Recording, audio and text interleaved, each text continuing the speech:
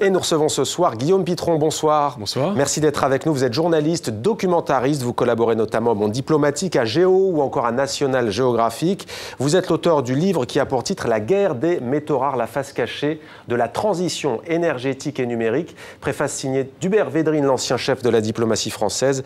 Ouvrage publié aux éditions Les Liens qui libèrent. Alors, ça fait six ans que vous enquêtez sur ce sujet précis euh, des métaux rares. Tiens, d'abord, c'est quoi un métal rare? Dans la nature, vous avez des métaux abondants, comme le fer, le zinc, l'aluminium. C'est ce qu'on connaît. Et puis, ils sont mélangés naturellement à des métaux beaucoup plus rares, dans des proportions beaucoup plus infimes. Quelquefois, c'est 1000, 2000, 3000, 4000 fois moins de métaux rares qu'il y a de métaux abondants. Et il faut les séparer de ces métaux abondants. Mais ces métaux rares, ils sont rares. Et parce qu'ils sont rares, ils sont chers. Ils sont dotés de propriétés euh, physiques, chimiques extraordinaires. Et aujourd'hui, tout le monde en veut pour la transition énergétique et pour la transition numérique. On les retrouve où? Alors on les retrouve. En fait, les gisements, il y en a partout sur Terre, mais simplement, on a un petit peu organisé la production de ces métaux euh, voici 30 ans, et on a surtout voulu en fait la concentrer notamment en Chine. C'est la Chine qui a pris leadership de ces métaux rares. L'Afrique aussi. On en trouve notamment euh, au Congo-Kinshasa, puisque le Congo-Kinshasa est le premier producteur d'un métal rare classé comme tel par la Commission européenne qu'on appelle le cobalt. Et justement, pour comprendre les problématiques, on va prendre la direction du Congo-Kinshasa. Notre grand reporter Ilham Taufiki s'était rendu dans ce grand pays d'Afrique il y a quelques mois, c'était en mars. Elle avait rencontré des mineurs, notamment jeunes. Ils sont exploités. C'est une enquête sur l'exploitation justement du cobalt, un commerce lucratif avec des salaires dérisoires pour ceux qui travaillent dans cette mine. Voici une séquence de son reportage tourné dans la mine de Karaï-Jipopo, dans la province du Katanga, où se concentrent 60 à 80% des réserves de cobalt dans le monde.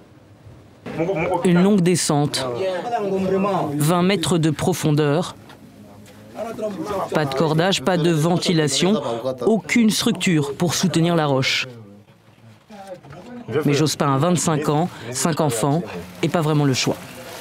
Si on avait des emplois ici un peu en RDC, on ne pourrait pas entrer ici. C'est par manque d'emploi. Pour un peu se nourrir. 4 heures sous terre à racler la roche, à la recherche du précieux minerai indispensable à la fabrication des téléphones portables, le cobalt, amassé à main nue. Le cobalt amassé à main nue qui sert donc à fabriquer euh, les téléphones portables, les tablettes, tout ce qui est numérique, tous les objets connectés au fond, c'est indispensable. Vous, vous parlez dans votre livre de malédiction des métaux rares. Cette image et ce reportage de TV5 Monde semblent vous donner raison. Quelle est cette malédiction? Et cobalt aussi dans les voitures électriques pour les énergies vertes est-ce qu'il y a vraiment quelque chose de vert dans ce que vous avez vu? Euh, La malédiction, c'est pas pour nous, c'est pas pour euh, les Français euh, qui habitons dans des villes où le ciel reste bleu parce que nous utilisons des voitures électriques. En réalité, la pollution, eh bien en fait, elle est délocalisée dans ces pays-là, là où en fait on extrait les métaux dans des conditions absolument dantesques. Il y a des enjeux environnementaux considérables. tout cela, le minerai doit être purifié, il doit être transformé avec des avec des produits chimiques qui vont être souvent déversés dans la nature. Ça va mm. polluer toute la nature alentour. Ça, c'est une première malédiction. Et puis il y a des coûts sanitaires bien évidemment, bien évidemment très forts, y compris au Katanga, euh, dans ces zones minières où en fait on a fait des études que je raconte dans ce livre mmh. qui prouvent que les impacts sur la population, sur la santé humaine sont très forts.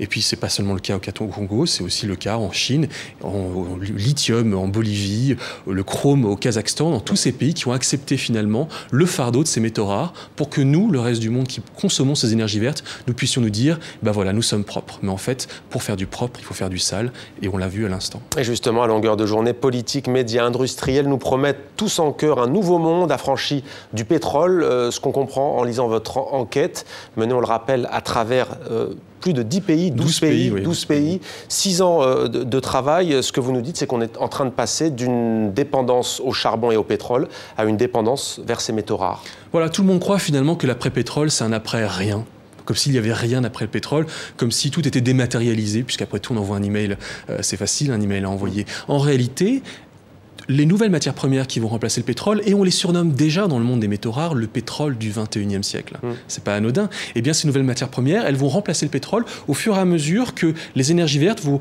représenter une part de plus en plus importante de nos mix énergétiques. Et toutes les problématiques du pétrole et tous les enjeux du pétrole écologique, économique, géopolitique, qui nous pose problème depuis tant de décennies, dont on pense se débarrasser avec le pétrole, et eh bien en fait, la transition énergétique les remplace par d'autres problématiques mm. écologiques géopolitique, économique. Et donc finalement, cette dépendance pour une autre, eh bien, ce sont des problèmes qui viennent remplacer d'autres. Et puis on retombe dans un nouveau monde avec des enjeux gigantesques qui vont être les enjeux des 30, 40 prochaines années. Il y a le mot guerre dans le titre de votre livre, guerre au sens propre. On parlait de la République démocratique du Congo. On sait que les diamants ont financé des guerres en Afrique, pas seulement. Euh, c'est déjà le cas? Alors je ne me suis pas trop intéressé à ces notions de guerre, notamment qui sont effectivement, on s'y intéresse avec le coltan. Je ne suis pas allé enquêter sur le coltan. Moi, je parle plutôt de guerre économique. Guerre économique parce qu'en fait, la Chine aujourd'hui en assumant le fardeau de ces métaux, finalement, et, d'ailleurs la Chine rachète 80% du cobalt congolais. Mmh. Et c'est d'ailleurs très malin parce que la Chine est aujourd'hui vue non pas comme un modèle, mais comme un pays, une grande puissance qui fait des efforts pour lutter contre le réchauffement. Bah, elle le fait parce qu'en fait, elle, elle, comme elle est leader sur ces métaux-là, qu'est-ce qu'elle fait? Elle les garde pour elle-même.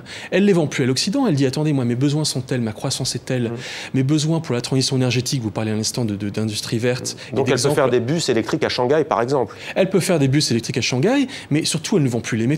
Elle ne elle veut plus cette espèce d'idée néocolonialiste selon laquelle on irait se servir en minerais comme on l'a fait longtemps en Afrique. Elle veut les garder pour elle. Elle ne nous vend plus les métaux, elle nous vend le produit fini avec le métal à l'intérieur. Et donc du coup, nous achetons aujourd'hui, ou nous allons acheter des bus et des voitures électriques chinoises. Et c'est là qu'est la guerre. La Chine veut gagner la guerre des technologies utilisatrices de ces, de ces métaux. Et donc c'est la guerre de la transition énergétique et numérique qu'elle est en train d'essayer de gagner aux dépens des Européens et des Occidentaux.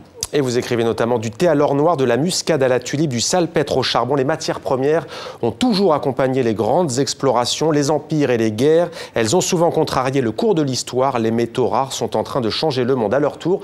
On a envie de vous dire, quand on voit votre enquête assez édifiante, le ministre français de la Transition écologique, Nicolas Hulot, et tous euh, ses confrères euh, le savent, ceci non. Pourquoi est-ce qu'à la COP, par exemple, 21, le grand accord de Paris sur le climat, pourquoi il n'y a pas une trace de ces métaux rares? Je pense que certains le savent, d'autres ne le savent pas. Pure ignorance. Il y a une ignorance Pure ignorance, oui, je le mmh. crois vraiment, je l'ai vu, je l'ai constaté. Euh, moi-même, j'ai été, et d'ailleurs pour tout vous dire, j'ai toujours pas la réponse, il faudra peut-être que j'écrive un second bouquin pour l'expliquer. Pourquoi est-ce que personne n'a écrit une seule fois le mot matière première, ressources, métaux rares, mines, minerais dans la COP 21. La COP 21, c'est quand même un fabuleux texte sur lequel tout le monde s'est mis d'accord. C'est un immense élan de générosité avec une, vraie difficulté politique à se mettre d'accord. Mais finalement, on ne s'est pas posé la question de où est-ce qu'il fallait aller chercher ces métaux pour que nous puissions rendre réelle cette transition énergétique. Or, il va falloir aller demander toujours plus à la Terre. Et ça, je crois que personne ne s'en est vraiment rendu compte, en tout cas suffisamment pour que nous puissions réellement agencer les vraies politiques qui sont nécessaires pour entrer dans ce monde plus vert. Merci beaucoup Guillaume Pitron. La guerre des métaux rares, la face cachée de la transition énergétique et numérique, préface donc d'Hubert Védrine, c'est aux éditions Les Liens qui libèrent. Merci. Merci.